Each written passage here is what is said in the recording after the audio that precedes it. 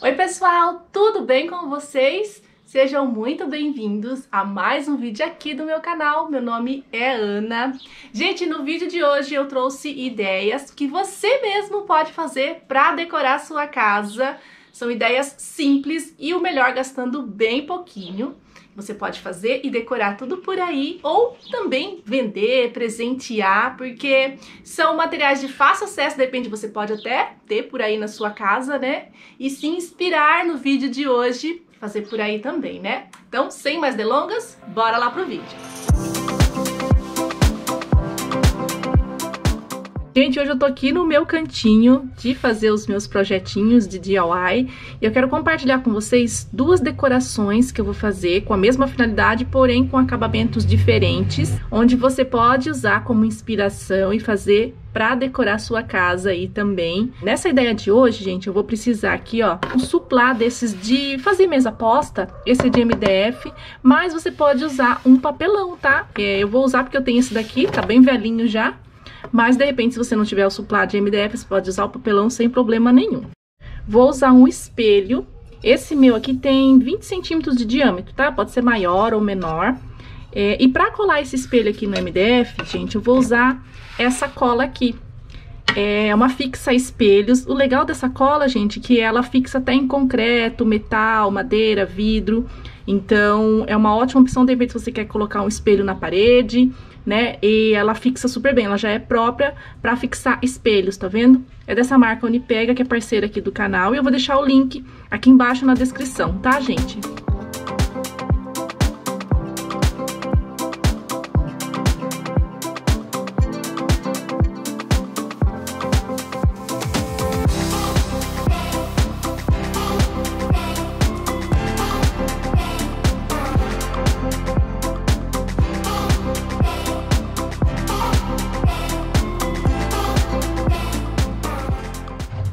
Gente, eu centralizei aqui, ó, o máximo que eu pude, aqui o meu, meu espelho nesse, nessa chapa, né, de MDF. E agora, gente, eu vou usar cordão de algodão. Você pode usar também é, corda de sisal ou algum outro tipo de cordão, cordão São Francisco, o que ficar mais fácil para você, tá? Esses aqui vocês vão encontrar em lojas que vendem artesanato, produtos para artesanato, tá bom? Colei um papel aqui só para não ficar dando reflexo. E agora, gente, eu decidi usar essa cordinha aqui, que ela é trançada, pra colar aqui em volta primeiro de tudo. Depois eu uso o cordão de algodão. Pra dar um charme a mais, né, pra ficar diferente.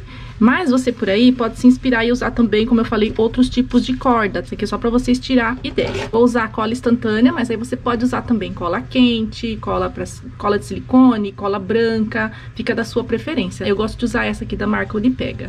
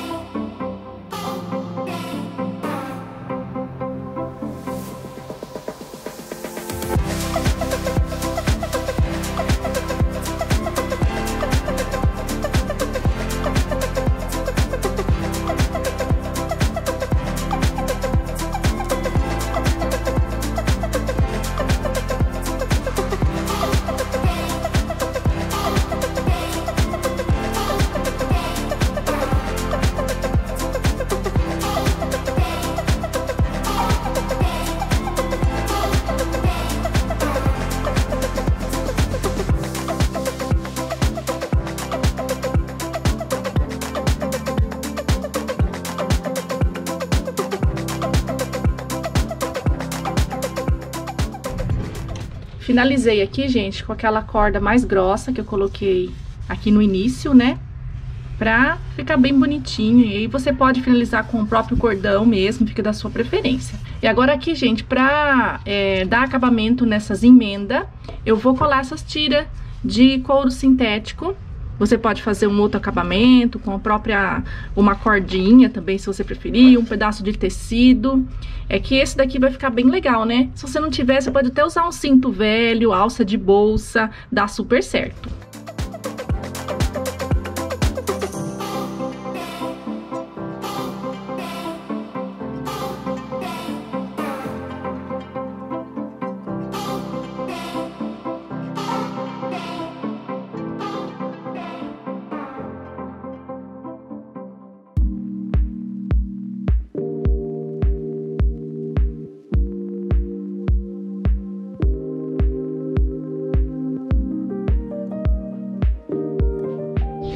Assim, gente. Aí, pra você colocar na parede, você pode colocar um ganchinho daqueles de pendura quadro ou fixar com fita dupla face extra forte. Ou você pode também é, usar esses ganchinhos que eu uso por aqui, né? Que é lacre de latinha. E aí você fixa aqui, pode ser com cola quente mesmo, coloca bastante cola quente. E aí depois é só pendurar na parede.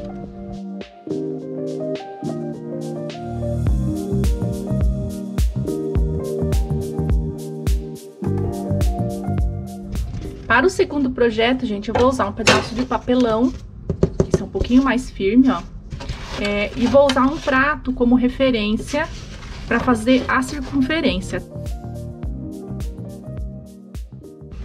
E aí eu vou usar o próprio espelho, tem outro espelho por aqui, para fazer a circunferência do meio. Tem que ser um pouco menor do que a parte de fora.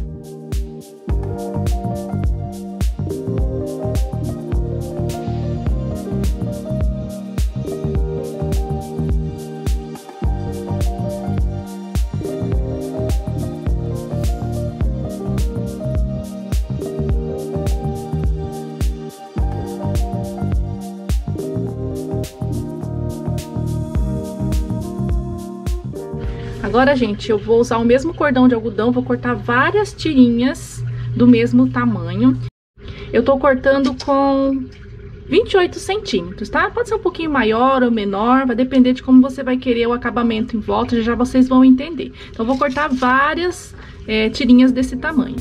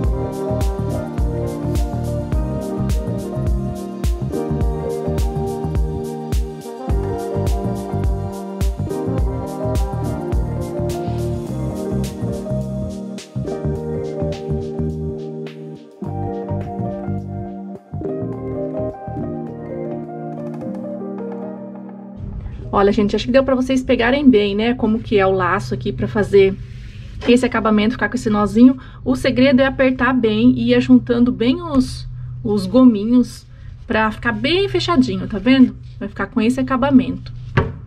Então, você dobra, é, corta, né, no tamanho que eu falei pra vocês, ou maior também, não tem problema. Depois vocês podem vir com a tesoura e ir aparando, acertando, tá? Pra ficar tudo um tamanho só. Então, você dobra no meio, coloca aqui por dentro, e aí você vai fazer o nozinho, ó. Passa aqui por dentro e puxa. Aí você tem que puxar bem, pra ficar bem apertadinho e empurrar Pra ficar bem encostadinho um no outro, tá vendo? Tá vendo como ficou maior? Depois é só vir com a tesoura aqui e cortar pra ficar do mesmo tamanho. Depois dá pra fazer também, dar uma desfiadinha, ó, esses cordão de algodão, é, depois que você corta, ó, você consegue desfiar as pontinhas. Fica bem bonito o acabamento.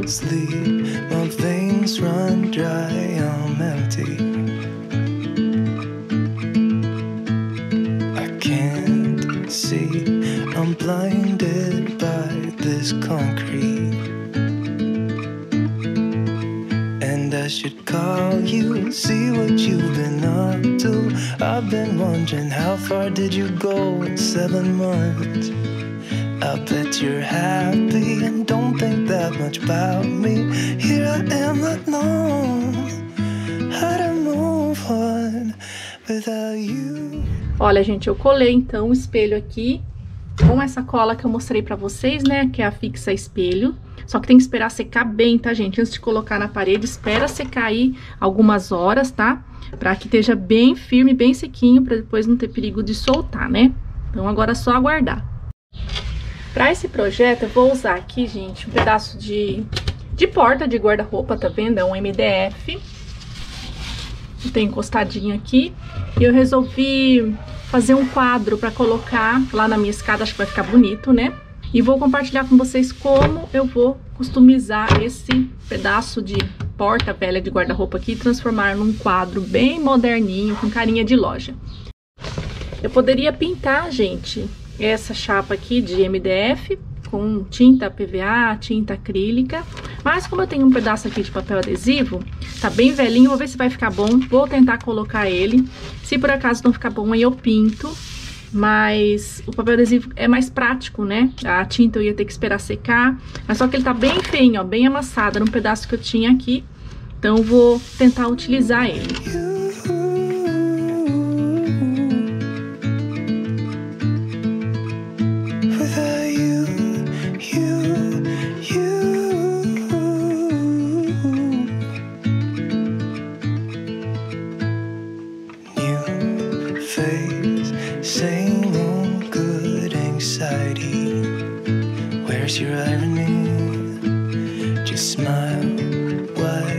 Cause I got everything I need, but not what I wanted. Cause I just wanted you. And if I could, I'd leave the city too. I don't blame you. And I should call you, see what you've been up to. I've been wondering how. Olha, a gente ficou assim então, ó. Deu pra aproveitar o, o papel adesivo. Agora, gente, vou usar esse papel adesivo aqui, ó, imitando madeira. Vou cortar os filetes para fazer o acabamento em volta, como se fosse uma moldura. I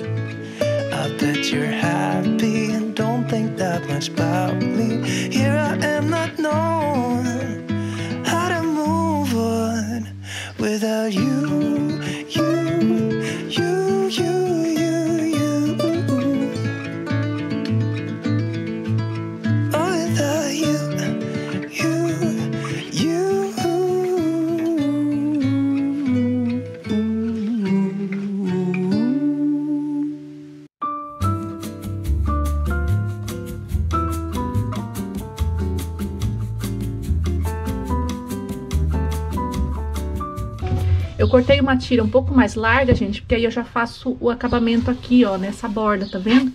Como ficou bem certinho aqui, ó. E aí eu finalizei aqui por trás, ó. Quase não dá pra ver que quase da mesma cor, né? Do, desse pedaço de MDF. Então agora eu vou fazer do outro lado e também aqui, ó, na parte de baixo e na parte de cima.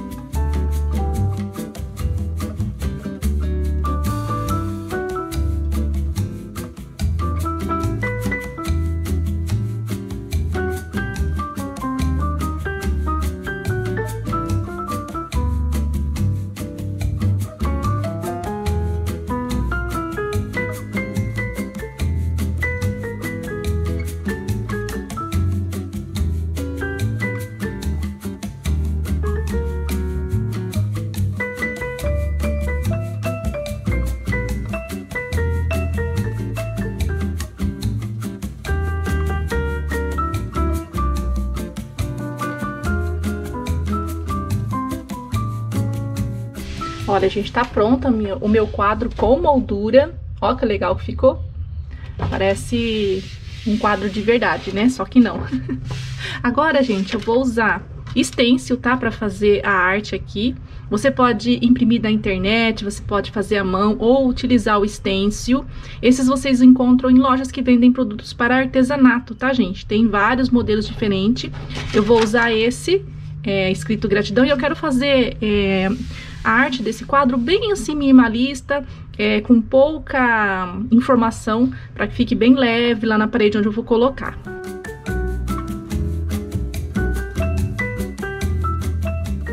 Vou usar tinta acrílica preta, tá, gente? Você pode usar a cor da sua preferência.